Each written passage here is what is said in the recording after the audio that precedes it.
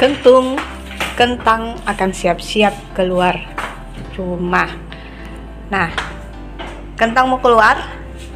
Nah apa penyebabnya? Kucing kita itu selalu keluar rumah teman-teman. Satu dua tiga. Kentang siap-siap mau kabur teman-teman. Tidak jadi karena ada ada beberapa penyebab sehingga kucing kita itu suka keluar rumah. Nah, simak video ini sampai selesai ya. Mengapa kucing kita ini suka keluar dari rumah? Apa penyebabnya teman-teman? Selamat menonton. Nah, siap-siap ketika saya akan buka pintu, kentang akan keluar rumah. Satu, dua, tiga. Kentang cepat pulang ya. Oke. Okay. Shalom, Assalamualaikum, salam sejahtera buat kita semuanya. Jumpa lagi dengan saya di channel Kucing Jalanan. Kali ini channel Kucing Jalanan akan berbagi informasi tentang mengapa kucing kita sering meninggalkan rumah, apa alasannya, dan uh, bisakah kucing kita ini kembali dan apa alasannya juga jika mereka kembali teman-teman. Bagi teman-teman yang baru menemukan channel ini, bantu kami dalam subscribe supaya channel ini bisa berkembang, supaya channel ini bisa banyak dikenal orang dengan cara menekan gambar kucing yang ada di pojok bawah sebelah kanan. Subscribe ini sangat kami butuhkan teman-teman untuk perkembangan channel ini, untuk kelangsungan channel ini, supaya channel ini bisa berkembang dan channel ini jika berkembang saya akan dedikasikan bagi kehidupan kucing-kucing yang ada di jalanan.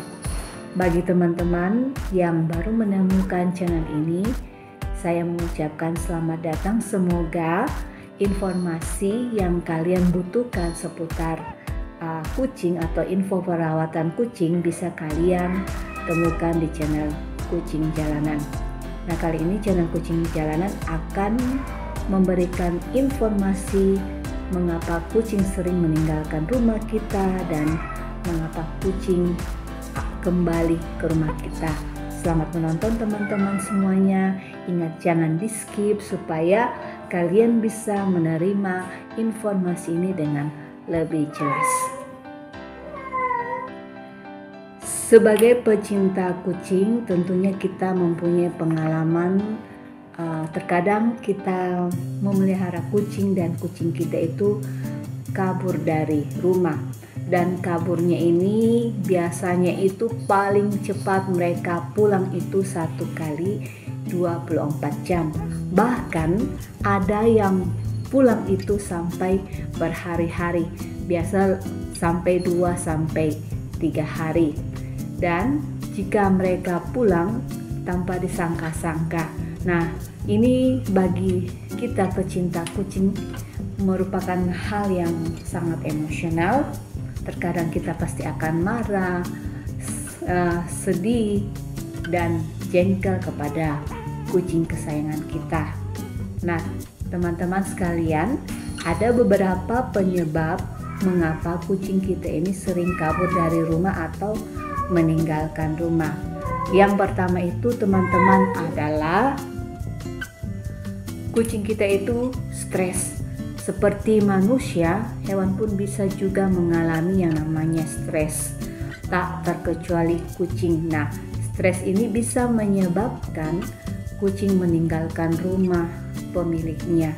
Nah, beberapa faktor yang bisa memicu kucing stres antara lain adalah lingkungan yang berisik atau ada kucing lain di lingkungannya yang membuat kucing peliharaanmu itu tidak suka. Nah, jika kamu memelihara seekor kucing, penting untuk mengetahui tanda-tanda kucing mengalami stres Nah, di sini tanda-tanda kucing yang mengalami stres adalah antara lain biasa kucing kita itu bersikap lebih agresif kepada hewan lain, bahkan bisa kepada pemiliknya sendiri. Nah, selain itu juga teman-teman, ada juga kucing yang malah bersembunyi ketika mereka stres.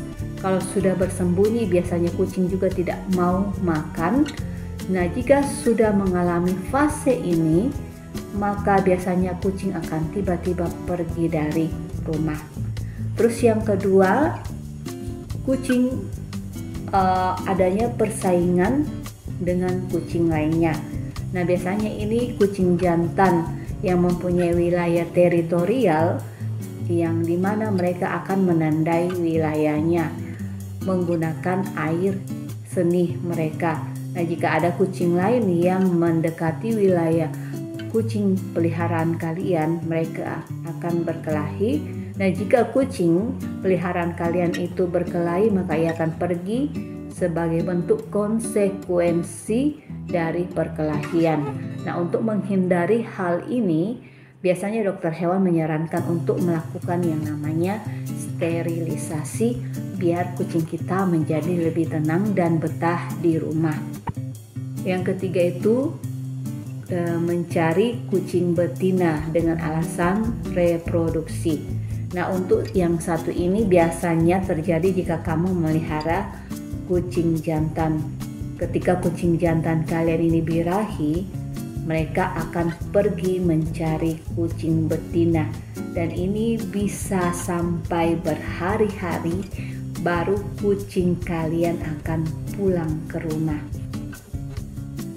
Yang keempat itu kucing meninggalkan rumah itu karena sakit parah. Nah, jika kucing peliharaan kalian itu tiba-tiba pergi dan menghilang dari rumah kalian, biasanya jadi karena sedang mengalami sakit yang parah. Nah, ketika kucing kalian dalam kondisi sakit parah atau bahkan sekarat, biasanya kucing kita itu akan menghilangkan jejaknya. Nah, kucing liar ini biasanya mencari tempat uh, balik semak-semak di dalam got kering atau celah-celah yang sempit untuk menyembunyikan diri mereka.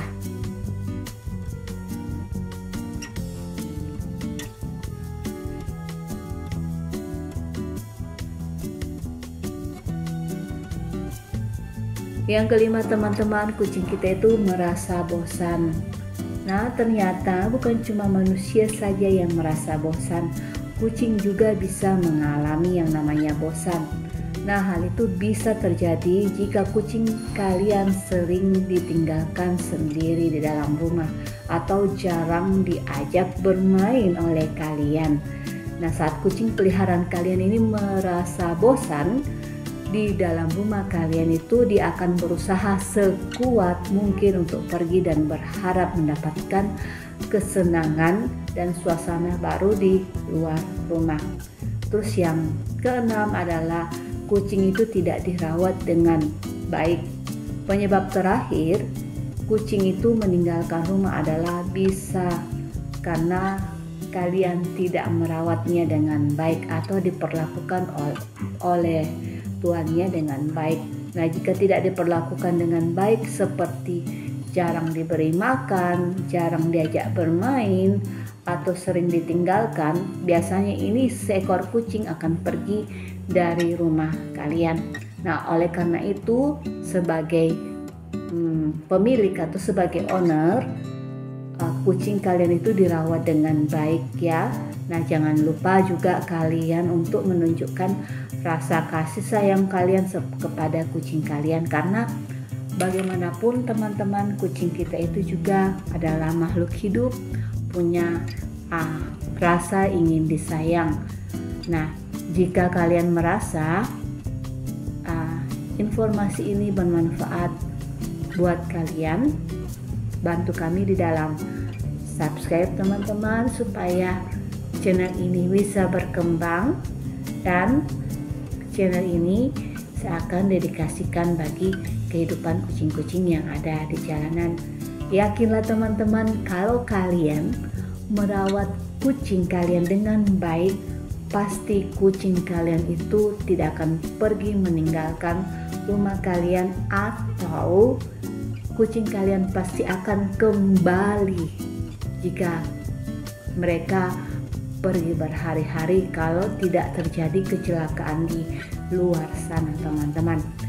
Selamat uh, menonton video ini.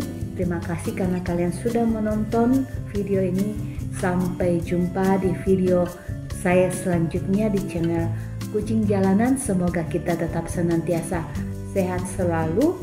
Diberikan berkat oleh Tuhan yang Maha Kuasa. See you for the next video. And bye bye teman-teman semuanya